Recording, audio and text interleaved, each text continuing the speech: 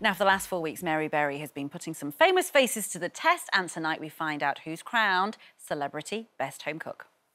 Well, very good morning to you, uh, Mary Berry. How lovely to have you on the show. It gets quite emotional, doesn't it, this show? It goes beyond the food and it goes into something that resonates with them about their own lives. It's kind of incredible to watch. Oh, it's, it's wonderful. It's really got everybody cooking and they're true cooks. They've got better and better as the programme has gone on. And today's the final, tonight. It's very exciting. Uh, were you surprised at how good some of the celebrities have been? Because I think Angela was a little bit sceptical, wasn't she, behind the scenes? Thinking, well, they're all celebrities, how good can they be? But actually, they're pretty good. To start with, I was a little bit worried because I didn't think they'd take it seriously, but they certainly have. And the standard has gone up and up and up. And uh, the semi final last night, they did really well. And uh, tonight, um, you'll be really surprised. They have wonderful food. I tell you what, last night I felt I really felt for Fern because she's a good cook. And she went home. Fern Oh, it was so sad to see her go. She was very inventive and she did light cooking and she really got better and better and always so interesting. And things tasted. She did her seasoning well uh, I was very sad to see her go. We all three were. Yeah, and what I'm liking is I'm wondering whether when we're out of lockdown and all this gets back to normal one day, will you ever want to mingle amongst us normal people ever again? Because on this show you're ripping your, your gallery, you're looking down upon them with your binoculars. It seems very, you seem very at home up there, Mary Berry, I have to say. Very royal. Do you know, it, I had a really good view. I had these binoculars and I could see into the pan below. Um, I could spy on them. Um, I, I could see every detail, but it was sensible for me to be away from everybody. So I didn't walk around with the other two judges, um, which I would have liked to have done. I did at the very end. I'll tell you what, I think is it Tom who was pretty brave. Did he make you a Victoria sponge at some point, which is your favourite cake of all time? He... That is oh, a bold move for anyone. He did make me a Victoria sponge. It wasn't that good, oh. but um, he excelled in other things. He was very brave. He did a lot of winging it. And that's not good in the kitchen, is it? Can you not wing? Cakes you can't wing, but savoury food you can, can't you? That you can do it that way. Uh, well, you can, but I think they all put their all into it. And um, in the final, which um, is coming up tonight, um, we're doing it in a slightly different order. It's rustle up first, and then we choose the final from that, and they go on to uh, to don't have to do any more and don't have to go in the eliminator, and then in the final they do my ultimate.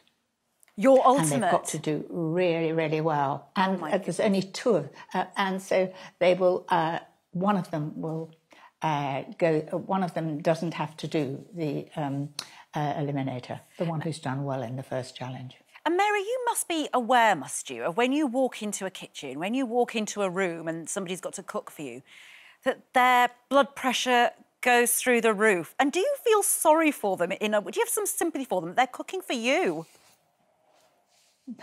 Well, I think that um, if they're my friends cooking for me, they usually do something that they're uh, special of their family or they've had on holiday that they've perfected.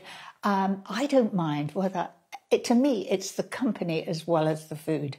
And I think all um, our competitors in, in, the competition have just put their all into it and they've come up with such interesting food, often doing little extra things as well as the main thing that we've asked them to do. And you say that making mistakes isn't a, isn't a, a sort of game changer for you. Making mistakes is all right. Making a mistake is we all make mistakes. It's how you get out of it. Um, earlier in the competition, uh, Rachel uh, had her cake and it fell over. She immediately picked it up and assembled it again and didn't sort of, you know, throw it to one side and say, I've had it. We should all be able to cope after a mistake, particularly in the kitchen. after all, people want to be fed. Well, do you do you make mistakes even now, or or are you just perfect? I'm, please don't say you make. We all want you to be perfect. You know that, don't you? uh, uh, I'm certainly not perfect. I'm, i make mistakes. Just ask my children. And uh, if it started off as something, it might, you know, if you break a meringue or something, um, if you add some fruit to it, um, you can make a, a Eton mess. So uh, you've got to get out of these things. Yes, you can't be rigid, can you, in the kitchen? You've got to be a bit more flexible, I think.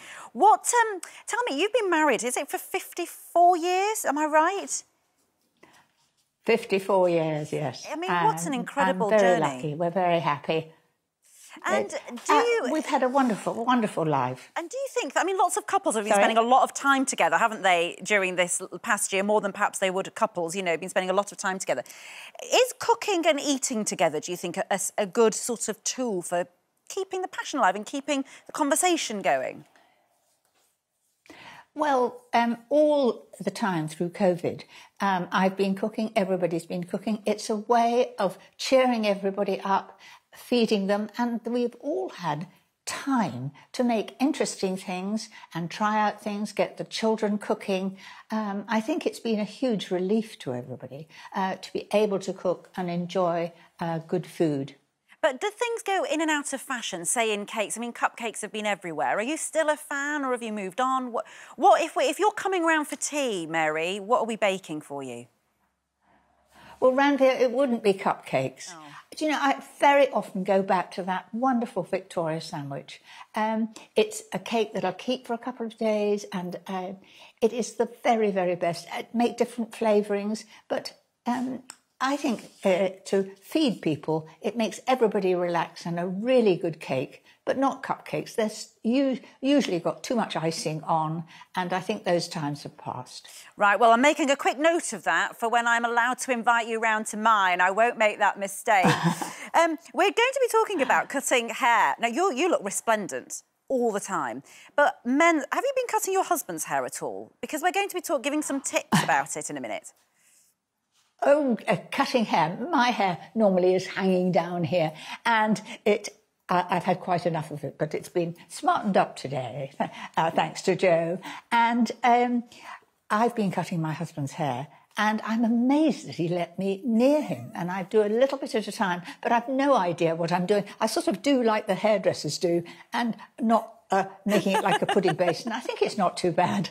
I mean, he's not ma making his face known on telly this morning, so I'm not sure he's that happy about it. But um, uh, if he's there, he could make an appearance. uh, but you have very steady hands, we know this. So I'm sure he's in very safe hands. We look forward to the final tonight. And I have to say, just by having you on the show, it elevates us all. We all feel a little bit more regal when you're around, I have to say, Mary Berry. Uh, how lovely to have you on the show. And good luck with the final tonight. It's on at 9 p.m. Oh, on very BBC exciting. It will be. It's a gorgeous show. It's a gorgeous programme. Thank you so much. Don't forget, you can watch full episodes of Lorraine on the ITV Hub and all the best clips, compilations and playlists right here on our channel.